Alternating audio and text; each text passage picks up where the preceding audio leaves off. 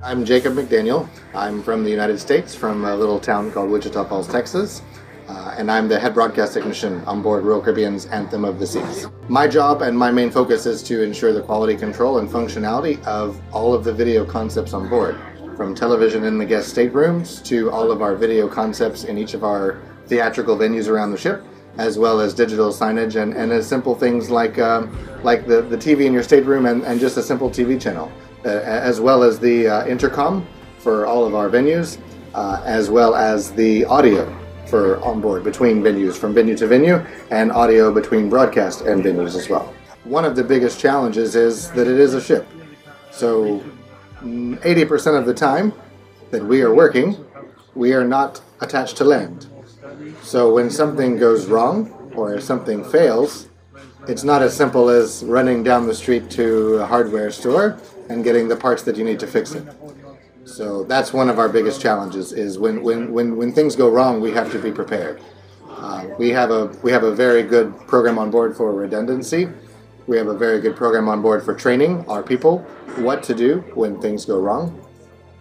But the other biggest challenge is the fact that it's a cruise ship and it's made of steel and it's very long and the venues are in different sections of the ship. So when we need to send video, audio, communication, network, any of those main areas of multimedia transportation from one venue to another, it's not as simple as running a cable because the ship is made into zones. So the cable, there must be a there must be a steady backbone of communication throughout the entire ship. And that that's one of the challenges we face every day with all of our ships.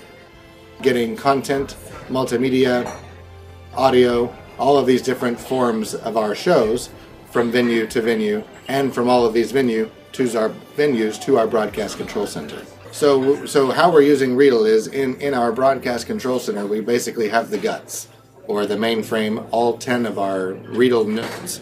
And those act as the transmit and receive of all of this data between the venues and uh, the various sections of the ship.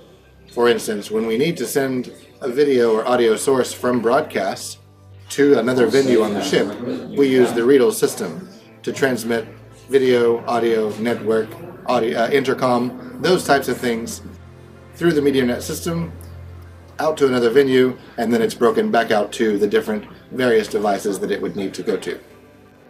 We basically use it as a backbone um, because the system on board is running everything and the safety of the shows is very dependent on that because of the intercom perspective. Um, all of our shows are running with a production manager. You have audio technicians, you have lighting technicians, you have stage staff, you have riggers, all on this intercom system communicating with each other for the safety of the performers. So the intercom system is very a very integral part of that safety piece. We worked very closely with TV Tools. They were the designer, creator, and implementer of all of the uh, systems that we have on board. Okay. So, and they also trained us how to use the system to its full benefits that we needed for here on board. Riedel's functionality and user friendliness is just it's it makes it a step above a lot of other things that I've used.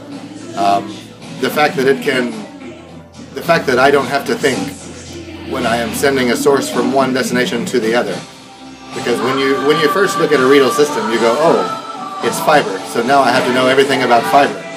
But you don't. You just need to know how to get it in and how it comes out. And and the nice thing is that the MediorNet system does all of the internal thinking for you. So I don't need to know which fiber line a signal is going through or what the path is, because MediorNet takes care of all of that for me. I just need to know that I need to route A to B, and it takes care of all of the processing it's just better than anything else that I've that I've been a part of or that I've used.